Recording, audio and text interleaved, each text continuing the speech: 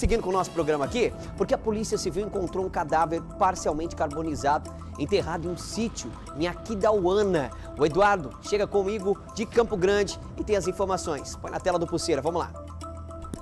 Bom dia, Rodrigo, e bom dia a todos os nossos amigos do Pulseira de Prata. A Polícia Civil encontrou na última segunda-feira um cadáver parcialmente carbonizado em um sítio no distrito de Cipolândia, em Aquidauana. Os suspeitos do crime foram identificados ontem e um dos envolvidos foi preso.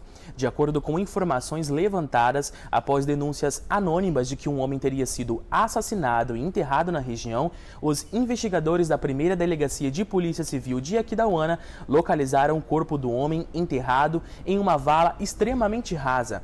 A vítima foi identificada como Tibério Ribeiro Amarilho, de 35 anos, natural de Santo Antônio das Missões, no Rio Grande do Sul.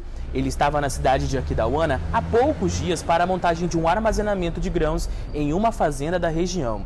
O exame necroscópico concluiu que a vítima foi esgorjada, ou seja, teve a região do pescoço cortada, levando à morte por asfixia e aspiração do próprio sangue, e depois foi parcialmente carbonizado a fim de ser ocultadas suas identidades.